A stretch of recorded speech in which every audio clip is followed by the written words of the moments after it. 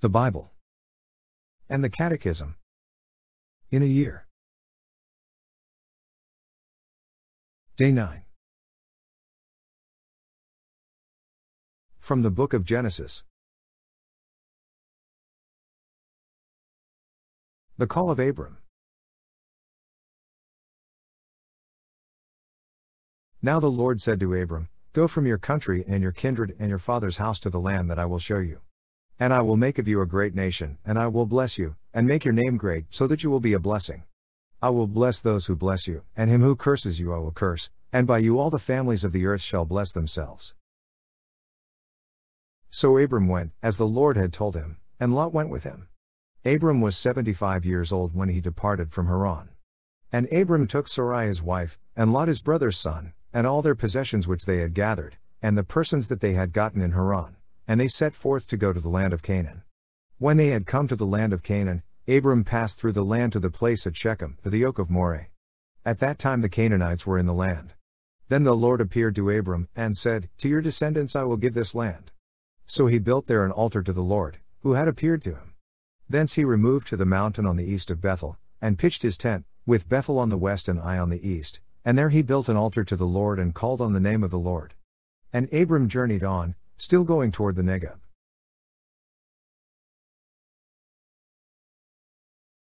Abram and Sarai in Egypt.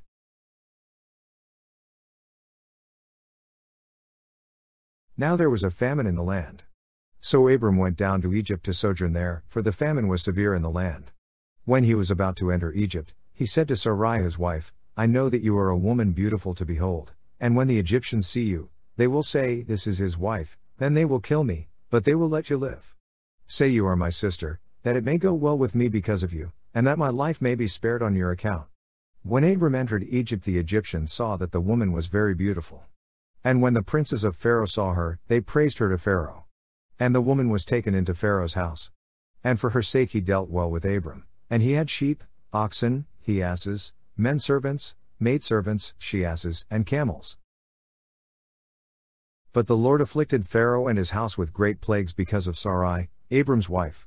So Pharaoh called Abram, and said, What is this you have done to me? Why did you not tell me that she was your wife? Why did you say, She is my sister, so that I took her for my wife? Now then, here is your wife, take her, and be gone. And Pharaoh gave men orders concerning him, and they set him on the way, with his wife and all that he had. Abram and Lot separate. So Abram went up from Egypt, he and his wife, and all that he had, and Lot with him, into the Negeb. Now Abram was very rich in cattle, in silver, and in gold.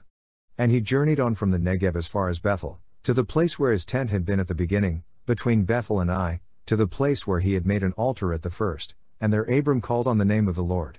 And Lot, who went with Abram, also had flocks and herds and tents, so that the land could not support both of them dwelling together. For their possessions were so great that they could not dwell together, and there was strife between the herdsmen of Abram's cattle and the herdsmen of Lot's cattle.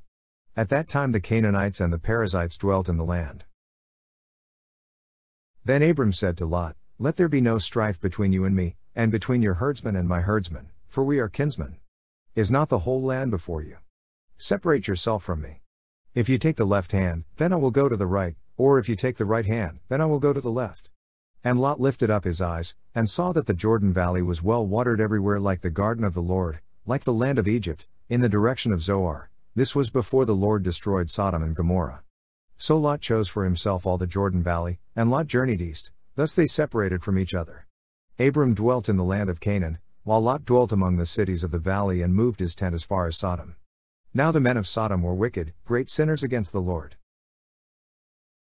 The Lord said to Abram, after Lot had separated from him, Lift up your eyes, and look from the place where you are, northward and southward and eastward and westward, for all the land which you see I will give to you and to your descendants forever. I will make your descendants as the dust of the earth, so that if one can count the dust of the earth, your descendants also can be counted. Arise, walk through the length and the breadth of the land, for I will give it to you.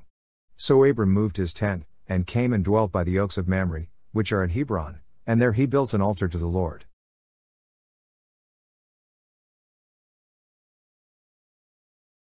From the Book of Psalms. God's Power and Justice. To the choirmaster, according to Muth-labben, A Psalm of David. I will give thanks to the Lord with my whole heart. I will tell of all thy wonderful deeds. I will be glad and exult in thee. I will sing praise to thy name, O Most High. When my enemies turned back, they stumbled and perished before thee. For thou hast maintained my just cause. Thou hast sat on the throne giving righteous judgment. Thou hast rebuked the nations, thou hast destroyed the wicked. Thou hast blotted out their name for ever and ever. The enemy have vanished in everlasting ruins. Their cities thou hast rooted out. The very memory of them has perished. But the Lord sits enthroned forever. He has established his throne for judgment. And he judges the world with righteousness. He judges the peoples with equity.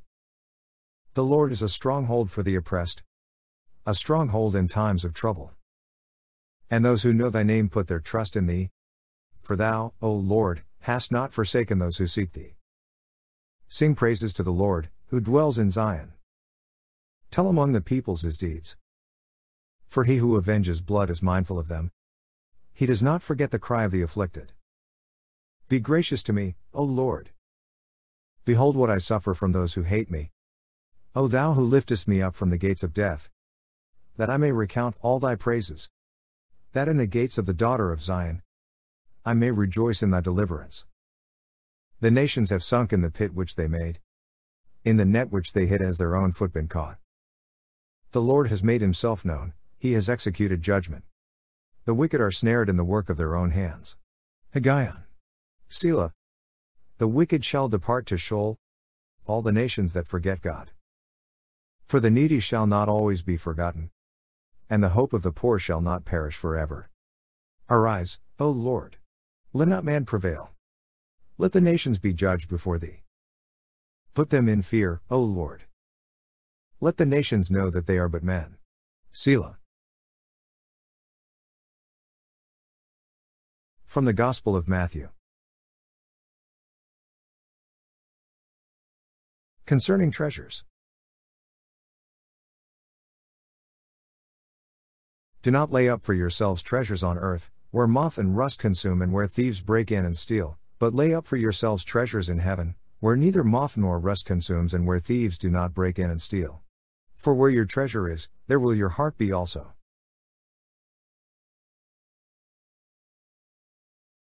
The sound eye.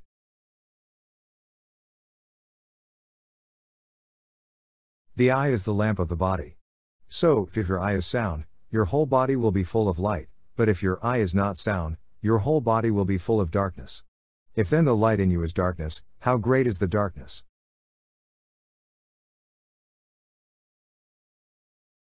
Serving two masters.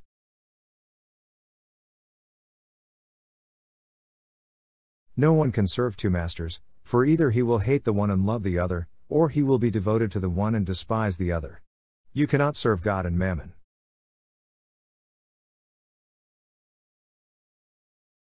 Do not worry.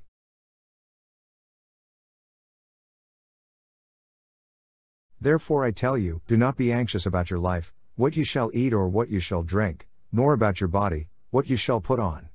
Is not life more than food, and the body more than clothing? Look at the birds of the air, they neither sow nor reap nor gather into barns, and yet your heavenly Father feeds them. Are you not of more value than they? And which of you by being anxious can add one cubit to his span of life? And why are you anxious about clothing? Consider the lilies of the field, how they grow, they neither toil nor spin. Yet I tell you, even Solomon in all his glory was not arrayed like one of these. But if God so clothes the grass of the field, which today is alive and tomorrow is thrown into the oven, will he not much more clothe you, O men of little faith? Therefore do not be anxious, saying, What shall we eat? Or what shall we drink? Or what shall we wear? For the Gentiles seek all these things, and your heavenly Father knows that you need them all. But seek first his kingdom and his righteousness, and all these things shall be yours as well. Therefore do not be anxious about tomorrow, for tomorrow will be anxious for itself. Let the day's own trouble be sufficient for the day.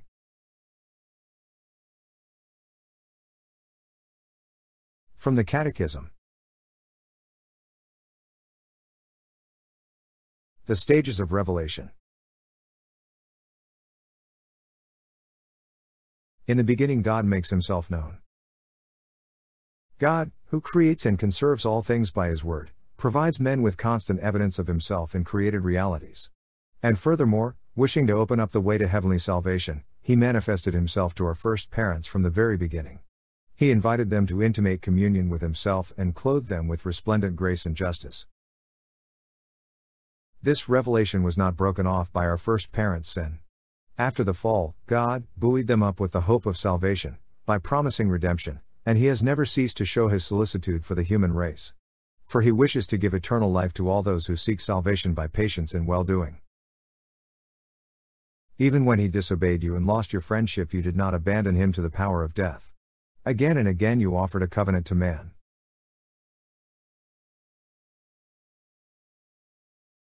The covenant with Noah.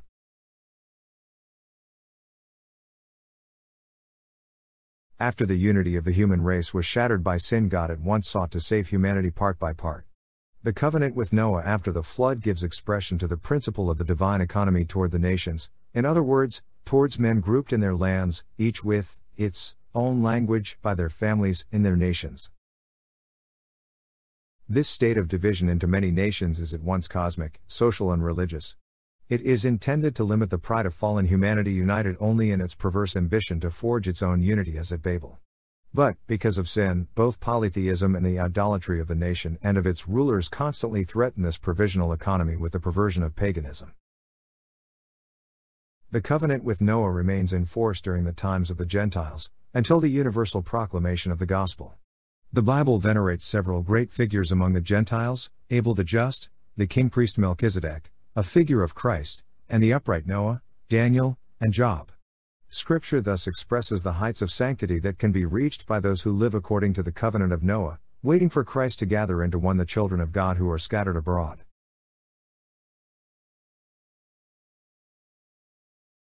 God chooses Abraham.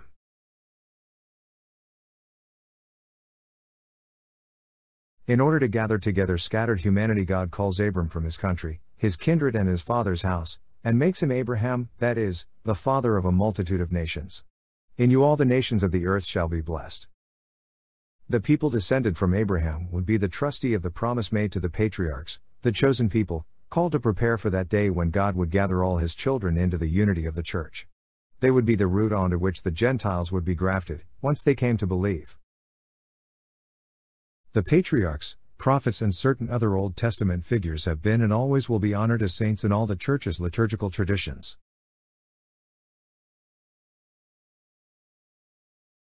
God forms his people Israel.